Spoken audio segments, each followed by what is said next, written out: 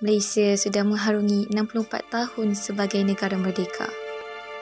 Sungguh pun begitu, berapa ramai di antara kita ataupun dalam kalangan rakyat Malaysia itu sendiri yang benar-benar faham dan menghayati maksud sebenar erti kemerdekaan.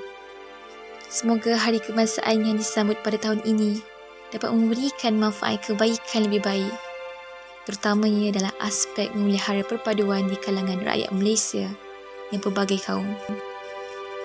Sebagai rakyat Malaysia, kita perlu mengambil peluang menghayati makna sebenar kemerdekaan kerana sebuah kemerdekaan itu bukan hanya sekadar retorik pengkisahan sejarah semata-mata.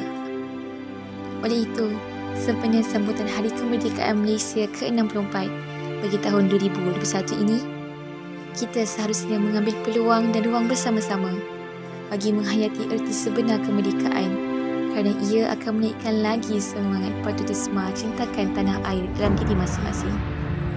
Generasi muda pasti menganggap merdeka itu adalah bebas daripada cekaman penjajahan dan menghayatinya dengan sekadar melakukan merdeka, merdeka, merdeka.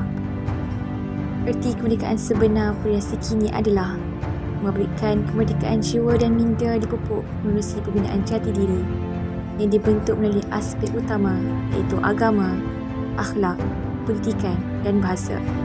Kerana generasi muda berhadapan ancaman penjajahan dari segi bentuk baharu, terutama pemikiran dan budaya seiring dengan sepanjang masa kini.